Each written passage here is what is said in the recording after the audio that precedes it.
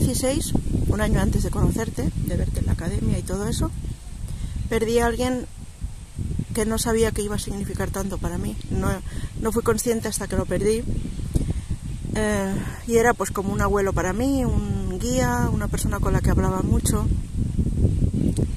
que me ayudaba mucho a levantarme cuando me caía y bueno, una especie de guía espiritual, para que me entiendas.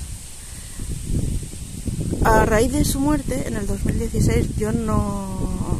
mi vida cambió mucho, me hundí muchísimo y me dio una depresión tremenda. Eh, no es ni de mi familia de sangre, digamos, pero bueno, como si lo fuera. Eh, porque me afectó un montón. Fue la primera vez que perder a alguien me ha afectado tanto.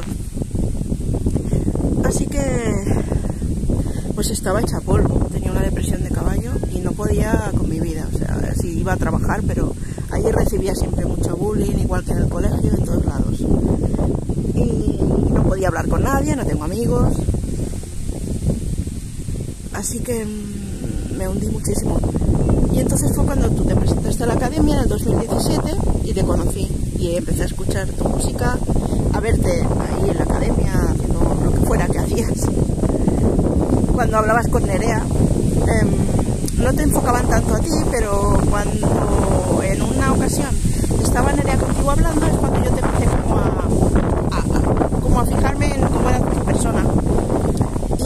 Y, bueno, em, cuando ya saliste de la academia y te conocí, pues, em, pues madre mía, mm, mi vida que era gris por haber perdido a esa persona al conocerte a ti y ver las ganas que tenías de vivir y de comerte el mundo aún pasándolo tú mal, eh, estabas en la misma situación de que habías perdido también a alguien, pues yo no pude, o sea, me identifiqué demasiado contigo, con, pues, lo que tú hacías y un crío de 20 años podía salir adelante, pues yo que tenía más, pues tenía que hacerlo, intentarlo o lo que fuera. Y, y tu música y todo lo que hiciste después, todos los años estos, me han ayudado un montón.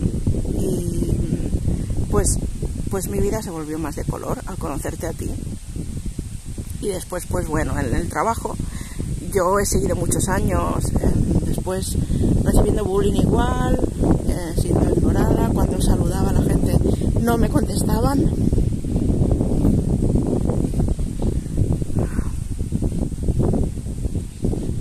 Y sacaste intacto. Pues esa canción describe perfectamente todo.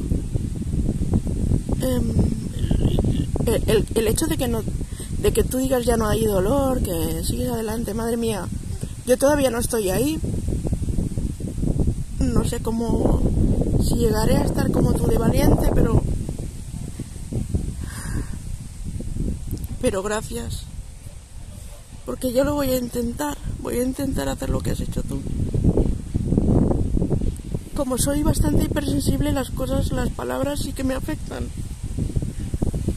Así que si, no sé si lograré decir ya no hay dolor, pero espero que en un tiempo pueda estar ahí en ese punto. En el que no me afecte lo que digan o lo que hagan o bueno. Yo soy bastante también independiente, pero soy sensible a la vez. Me hunde mucho cuando en el trabajo no me saludan y todo esto. Y tengo que estar siete horas ahí eh, haciendo mi trabajo, mm, siendo, no sé si odiada, pero ignorada, sería más, más exacto, ignorada, porque realmente mucha gente ni se fija que estoy ahí. Entonces tu canción, madre mía, la letra de tu canción me ha venido genial y te quería dar las gracias. No me quiero enrollar mucho porque ni siquiera sé si verás esto. Pero nada, muchas gracias, Agoney. Eh, y aquí estoy sentada y tengo la camiseta tuya puesta de, de un viaje íntimo del concierto que fui en Barcelona cuando todavía íbamos con mascarilla y no podíamos vernos bien. Estuve ahí en Barcelona en tu concierto y fue genial. Y, y- menudo subidón después de, de esos dos años de pandemia de no poder ni salir ni ir a ningún concierto, verte a ti, que fuera el primero el que veía en directo, madre mía. Menudo subidón. Pues nada, te doy gracias por todo lo que haces cada día, por, por trabajar tanto y por no rendirte. y ser un ejemplo para nosotros de, de valentía y fortaleza y todo eso.